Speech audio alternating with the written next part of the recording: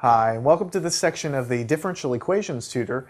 And in this section, we're going to continue learning how to solve certain types of differential equations that fall into certain classes. I told you that we were going to have different classes of equations and different solution techniques for those classes. And so here we're going to learn how to tackle first order uh, linear ordinary differential equations, that's a mouthful, first order differential equations, and we're going to use a method called variation of parameters. So it's another one of those methods that you're going to see in your book.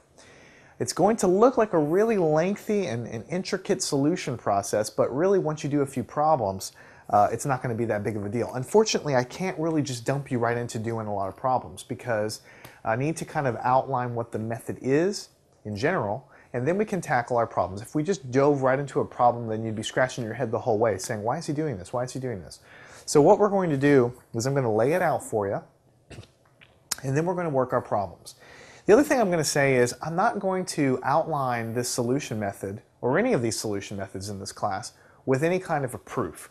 You see, these things are laid out in your book. They generally give you some sort of you know, proof associated with them or just at least a motivation. But rarely are you going to find a really detailed proof as to why any of these solution methods work. And that's because these solution techniques were developed over hundreds of years of studying calculus um, by some really, really smart people. And the proofs, the real proofs as to why these solution methods work are way beyond the scope of this class. So at some point in math, you're just going to have to read what's in the book and believe that someone else before you has proved it to, it to be true. Now, I'm not saying that we can't try to understand kind of why this works. I'm just saying that don't feel like you're going to understand exactly why all of these methods work here in the very beginning. You're just going to have to, to sort of, and I hate to say this, but you're going to have to sort of believe it and trust it. As you go deeper into your math studies, and of course you can, you can tackle that stuff and try to figure out the intricacies for yourself. One motivation for you, or one example is, back in Calculus 1, you learned that uh, the integral of 1 over x, you know, integral of 1 over x uh, is the natural log of x.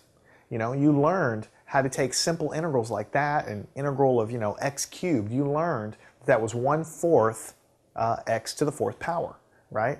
You learned that stuff. And they gave you a general motivation, but they didn't, uh, if I remember correctly, they didn't really give you a really detailed proof as to why that works. And that's, that's because, you know, the, the detailed proof of some of these things is something that's developed by mathematicians that came before us. And so when they write these calculus books, they don't want to present pages and pages of proofs for every little thing that you're going to use in calculus. It's like F equals ma. You're just going to have to, to believe that someone measured that force is equal to mass times acceleration. You take some different masses, you push them, you're going to see that it obeys F equals ma. You have to believe that, take that knowledge and move on. So that's a long-winded way of saying that these solution methods are the same thing. I'm going to list six or seven steps on the board. I'm going to tell you, do this, do this, do this, do this. And so will your book. But don't expect in this course to really understand the intricate reasons why all of that works because these solution methods were developed um, over time and the, the real proofs of them in general are not trivial. They're very lengthy. Once they're shown to be true, we take them and we use them. So this is variation of parameters. We're only going to talk about first order uh, linear equations. So let's write that down. Um, a first order a first order linear ordinary differential equation, ODE, is written like this.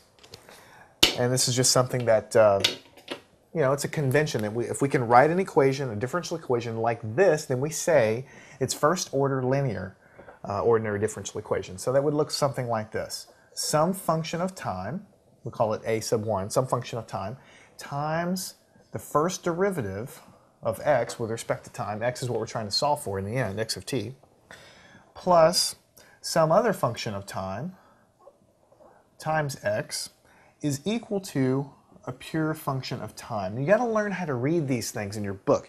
You look at this and you're like, well, what does this mean?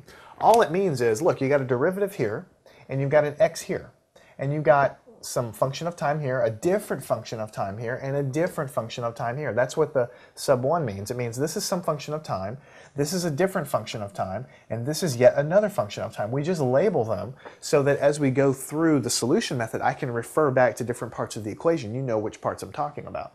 So that's what it is. I mean, this is really not you know anything more complicated